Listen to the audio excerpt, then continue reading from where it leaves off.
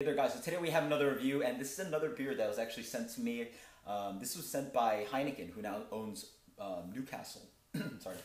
It came in a box with um, a nice letter, a little ad about going on about uh, Newcastle and Newcastle's brown ale, a few cups, uh, two of these beers, uh, the brown ale. Uh, what else was there? Coaster. I'll show you guys a picture. Really nice glass actually. Big fan of this glass. Really nice.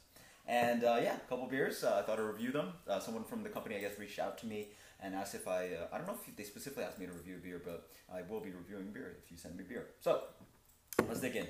Um, again, a macro beer, brewed again by Heineken, brewed actually at Heineken. So it is under the Newcastle name, but brewed at Heineken, owned by Heineken, and it is a brown ale. Um, haven't had it in a long, long time. 4.7% uh, British ale. And by the way, if you notice, this beer, uh, this bottle is very different from other beer bottles. There's something like, I guess I just reviewed this, uh, the Cantillon, um, a clear glass bottle. Uh, if you see this laying around on the shelf uh, near any sunlight, just do not purchase that beer. Um, the clear bottle does not protect the beer from being light struck.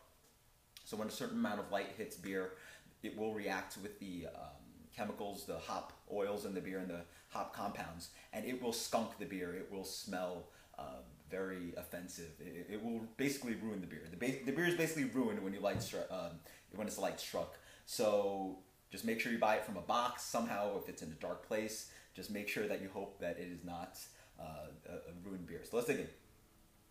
Uh, beer comes in a really beautiful color. Yeah, just a really dark amber red, a little bit of brown. Um, yeah, really, was, you get some reddish coming through, but a really just a light brown kind of color. Uh, wonderful head. Let's get the aroma on this.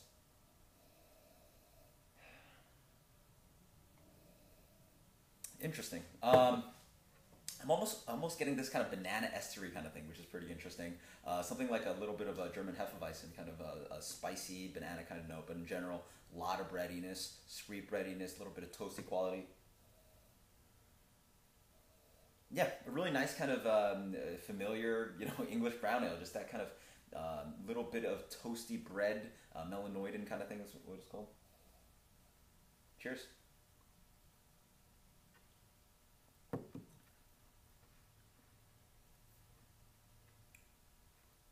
Yeah, doesn't taste skunked. Doesn't really smell skunked. then again, I'm still getting that kind of touch of this estery kind of quality. Again, a little bit of spicy, a little bit of fruity banana kind of thing. That could just be straight up from the um, English yeast they're using. Follows on the palate, medium toasted malt, uh, medium minus toasted malt, very mild flavors throughout. I really like the mouthfeel.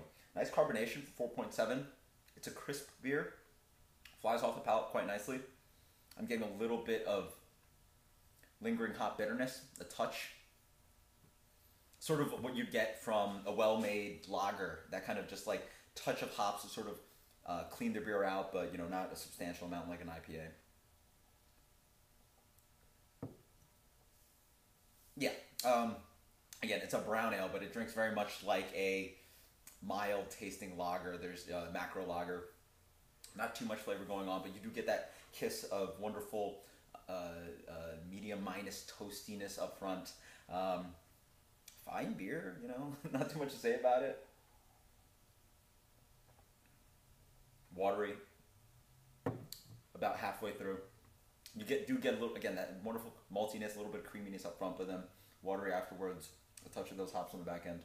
Um, as for rating, um, let's go with a 81 yeah, sure. 81 sounds pretty reasonable. Um, yeah, not a, not a horrible beer.